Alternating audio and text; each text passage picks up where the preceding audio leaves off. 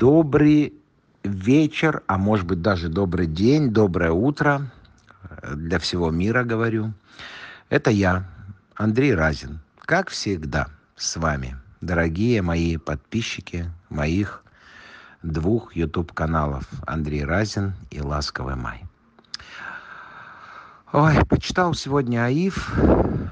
Ну, хоть кто-то там в команде Юры Шатунова, моего кума покойного, хоть кто-то что-то соображает, это Казарновская, бывший защитник Навального, хоть она хоть что-то еще соображает и понимает, и говорит хоть какую-то правду, что дети, пока не вступили, также и жена, не вступили в наследство, и они, естественно, не могут быть стороной по делу, а вообще по этому делу, по судебной практике, а также по законодательству Российской Федерации, в случае смерти человека, если он является просто э, притяну, я его называю так, притянули за уши Юру в это дело, где мы судились с Сергеем Кузнецовым, причем здесь Юра Штунов, он вообще к этому делу никакого не имел отношения. Его сделали заинтересованной стороной, так, пожалуйста, тогда все солисты «Ласкового мая» могут с ним меняемым Кузнецовым заключить договора, и также быть стороной по делу с позиции судьи, которая восстанавливает сроки 17-летней давности и вводит человека, который вообще не является стороной по делу.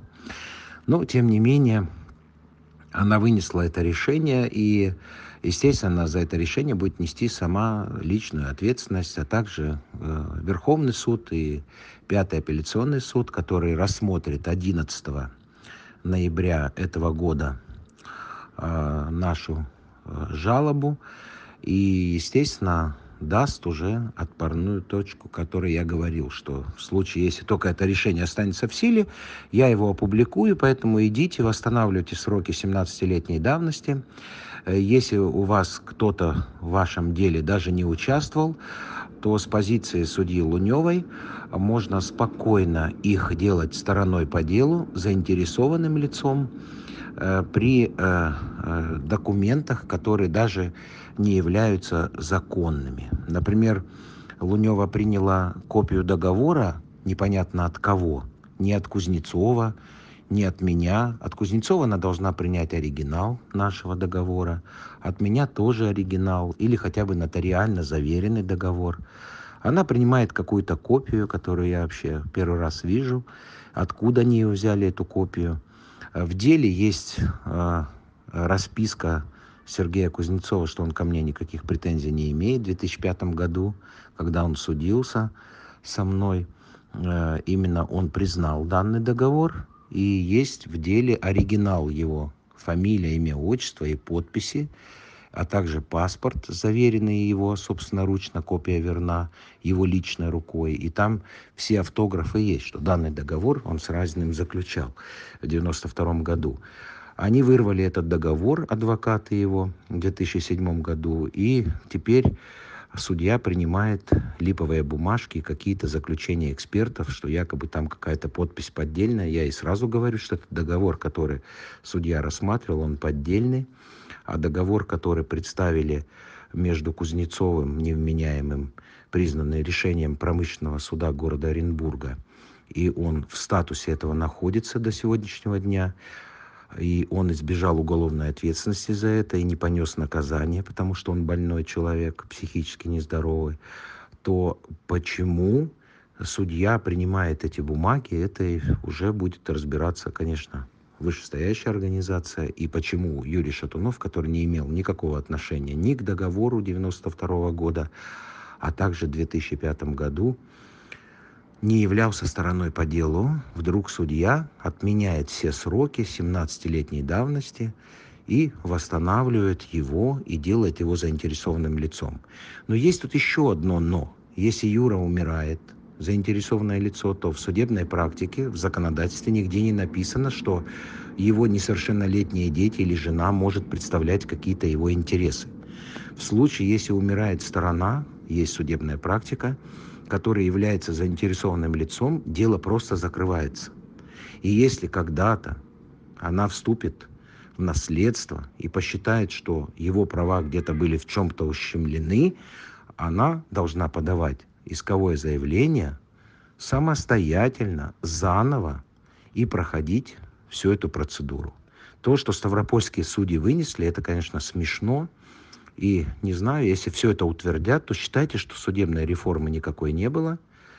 Вячеслав Михайлович Лебедев, имейте в виду, вся страна возьмет мое решение, вступившее в законную силу, если оно будет принято незаконно второй раз, и побегут со всеми исками, вся страна побежит отменять все решения и всех делать посторонних соседей заинтересованными лицами. Мало того, московский арбитражный суд когда попытался помочь Юрию Шатунову, вынесли решение положительное и приложили договор с Кузнецовым, то апелляционная инстанция Московского арбитражного суда отменила это и расписала как недопустимый договор и недопустимое доказательство, так как уже Верховный суд, а также многие другие суды признали за Разиным Андреем Александровичем право на данные песни, и решение суда вступило в законную силу. После чего в марте месяце этого года Верховный суд по интеллектуальным правам подтвердил это, Финмониторинг проверил договор, и э, Соединенные Штаты Америки, э, получив эти э, э заключения от Финмониторинга, а также России, а также от Верховного суда по интеллектуальным правам при Верховном суде, э, значит, э, продали данное произведение в Соединенные Штаты Америки, где они заплатили деньги, и российский бюджет, и американский бюджет за эту сделку получили деньги. Поэтому все вот эти решения суда, которые сейчас пытаются рассматривать, эти два адвоката, но одна еще, ладно, хоть Навального защищала, но второй милиционер вообще, по-моему, ничего не понимает. Но тем не менее он там что-то комментирует. Это все незаконно. Поэтому через полгода конечно, если она вступит в права, если ей что-то будет не нравиться в этих решениях, и она посчитает, что ущемлены права ее супруга, законного наследника, она имеет право заново обратиться в суд и, естественно, судиться со мной дальше. Но есть заключение Верховного суда, что данный договор с Кузнецовым является ничтожным и не подлежит никаким правовым основам. Поэтому Ставропольская судья будет, конечно, за это отвечать. Я вам еще раз хочу сказать, что я судью не оскорблял. Я не обвинял ее в смерти Юрия Шатунова. Это то, что написано в социальных сетях.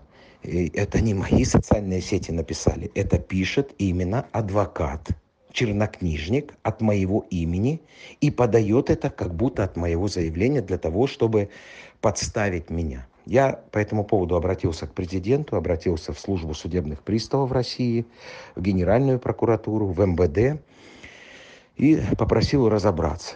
Я ставропольских судей люблю. И обвинять их в убийстве, тем более, никогда не мог и не могу, и делать это не буду. Вы никогда ни одного интервью не услышите, что я буду обвинять судью в убийстве человека.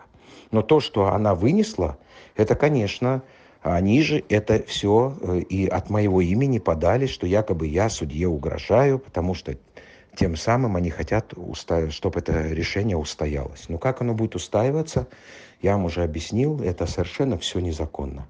В требованиях моих э, сказано то, что Юры нет, поэтому все дела обязаны быть закрыты, так как он не сторона по суду, а просто как заинтересованное лицо, а заинтересованное лицо не может участвовать ни в каких процессах э, в случае смерти. Поэтому э, господин э, Васильев, если вы такой уж умный, почему вы тогда работали в милиции, а не в прокуратуре? Если вы закончили МГУ, так почему же вы не проректор, не кандидат наук, никто? Вот кто вы такой? Почему вы рассуждаете, что Разин что-то там наговаривает? Я пишу кстати, все четко. И вы читаете мою жалобу, она вам нравится. Казарновская так хоть понимает, как юрист, что Разин прав, и что вы там напридумывали все. И забили Юрию голову три года, который верил. Это, знаете, у нас так есть такая пословица, она мне очень нравится. Верила, надеялась, думала, рожу. А пошла, проверила, с трипером хожу. Вот это вот вспоминается это мне пословица, извините, что кого-то, может быть, оскорбил. Но в любом случае, зная о том, что Кудряшов имеет 10 классов образования, Юра тоже 11 классов образования, что это люди неграмотные, вы, конечно, их загрузили и смогли загрузить, кстати, судью Московского городского арбитражного суда. Она вынесла решение по вашему вопросу, так как вы ей написали, а потом бегала и говорила о том, что у нее двое детей, она без мужа, отзовите жалобу, чтобы меня не уволили. И мне пришлось отозвать жалобу, мне просто стало жалко эту женщину. И, естественно, вышестоящая организация это отменила и признала договор между Шатуновым и Кузнецовым нелегитимным, незаконным и не подлежащим никаким вообще юридическим канонам, потому что собственность вся есть. И самый главный вопрос, который я хочу вам сказать. Никогда Юра Шатунов с 92 -го года не обсуждал со мной вопрос, что э, Сергей Кузнецов не продал мне права. В одном из интервью Сергей говорит, я тут рядом жил в двухкомнатной квартире, а теперь я живу тут трехкомнатной. А никто не задавался вопросом, откуда у Сергея Кузнецова в 92 году появились деньги на студию и на трехкомнатную квартиру. Это как раз эти были деньги, которые я ему заплатил за песни. Мало того, я его еще взял на работу, и он у меня работал до 2008 года художественным руководителем, и я ему тысячу долларов в месяц отправлял заработную плату, пока в 2007 году они не выкрали договор и попытались признать э, этот договор незаконным. По сегодняшний день идут суды. Поэтому Сергей Кузнецов уволился в 2008 году. А решение суда было в 2005, где он согласился с этим решением. Поэтому не слушайте этих мошенников, не слушайте этих чернокнижников, которые пишут, звонят, как пранкеры, берут правительственную связь, заставляют судей Ставропольского краевого суда, которые сейчас уходят, может быть, уйдет в Башкирию, наш председатель краевого суда, придет новый председатель Ставропольского суда. Я думаю, что он больше допускать таких глупостей не будет. И принимать решение человека, который не имеет никакого отношения к суду, и прошло 17 лет, делать его заинтересованным лицом. Мне жалко просто Юру. Жалко Юру, что они заставили его работать такое огромное количество концертов, и при всем при этом вымотали ему всю душу, положили его в гроб этой работой, просто изнасиловали его этой работой. Изнасиловали. Я об этом полгода говорил, и полгода они меня не слушали. Кудряшов, ты самый настоящий помойник. Ты помойник, который повелся на деньги Васильева, который тебе рассказывал сказки и заставлял судей писать то, что вообще на голову не натянешь. Если сейчас вот это решение суда все-таки останется в силе, публикую его и бегите, вся страна бегом в суды, отменяйте все свои решения. Все. Вы посмотрите, просто посмотрите, что она написала. Вы даже представить не можете. Человек, который не имеет никакого отношения ни к договору, ни к чего. Самое главное, что Юра Шатунов со мной заключил договор в 92 году, что он пожизненно может петь песни «Ласкового мая» бесплатно, безвозмездно. Когда вступил в права Филатов, Филатов заключил с ним договор, что он, Юра Шатунов, может петь песни безвозмездно, пожизненно. И также американцы, когда купили эти права, они официально обратились к Юре, как ко мне и Гурову, дали доверенности, что мы можем петь эти песни бесплатно, пожизненно. Так почему тогда Юра Шатунов со мной заключил договор в 92 году? С Филатовым заключил договор. А вот когда узнали, что фильм снимается, и что Разин стал правообладателем Юры Шатунова лично, как человека, его творчества в 2013 году, вот это их избесило. И они нашли таких вот людей, которые вот пишут такие решения, которые могут вообще отменить вообще судебную систему в Российской Федерации. Всех вам благ, всего самого лучшего. Всегда ваш Андрей Раз.